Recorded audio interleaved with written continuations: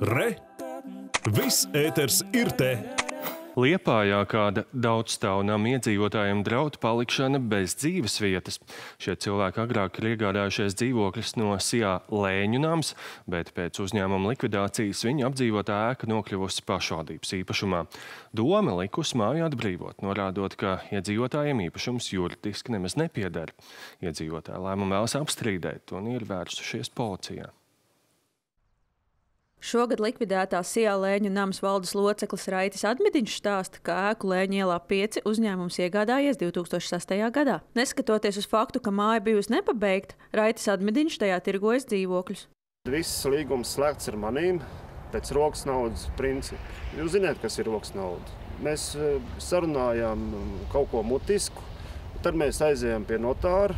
Notārs uzliek to visu uz, uz, uz papīra un, un, un, un, un, un tiek iedot naudu. Pieņemsim tā, noslēgts līgums. Nu, nu jā, un šajā gadījumā tas ir viss. Cilvēki arī tik labi man arī saprot. Zaļā birzī visi 15 ģimenes, kas tur saimnieko, viņi tik labi saprot manu situāciju. Bet viņi nevarēja iedomāties, ka tā situācija izvērtīsies tāda, kāda viņa ir šobrīd. Arī es to nevarēju iedomāties. Kā stāsta Liepājas domē, uzņēmuma Lēņa nams iespējamu finansiālu grūtību dēļ 2019. gada jūlijā un septembrī ēka tikus publiski izsolīta zvērinātu tiesu izpildītāju mājaslapā. Tā kā neviens nepieteicās izsolē iegādāties šo māju, tad māja palika kā nu, bezmantnieka manta un piekrita valstī. Gadījumā, ja ir tā ir dzīvojamā māja, tad valsts attiecīgi piedāvā pārņemt šo mantu pašvaldībai.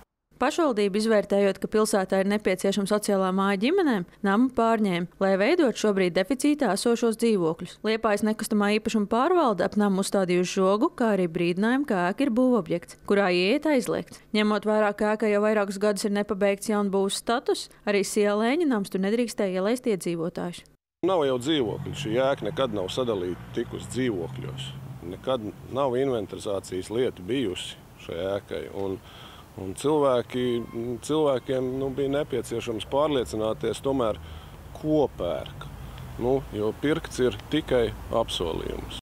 Uzrunātie mājas iedzīvotāji stāsta, ka vērsušies policijā ziņojot par pilsētas domas viņu prāt nelikumīgu rīcību. Pagaidām mūsu advokāti cīnās ar domu par domas patvaļīgo rīcību, par to, ka bez tiesas lēmuma nevar izlikt, jo ēka ir pievilktas visas komunikācijas, ir, ir centrālā, kura ir elektrība, ir kanalizācija, ir ūdens un tā tālāk un joprojām. Reāli tie dzīvokļi, kuros mēs dzīvojam, to, tajos ir veikts absolūts nu, kapitālā remonts. Tā tādā veidā tās uh, lietas nerisina kā doma šobrīd, viņas grib risināt. Otradien Lēņa ielas piektā nama iedzīvotājiem paredzēta tikšanās ar Liepājas domas vadību, lai meklētu kādu risinājumu. No iedzīvotāju puses netiek izslēgta arī tiesāšanās iespēja. Lijāna Palma, Inese Ķestere, Jānis Goldbergs, Aigars Brečs, TV Kurzem.